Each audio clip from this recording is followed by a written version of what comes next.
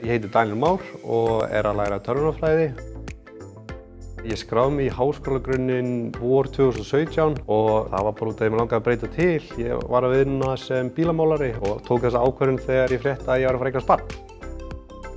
Lífið varð alveg mun erfiðara, viðkynna það, en ég hugsaði alltaf að ég væri að gera eitthvað sem væri gott fyrir framtíðina. Ég er sem sagt núna að klára 50 önnuna í tölunafræði og er að fara að útskrifast með BS núna næsta vor.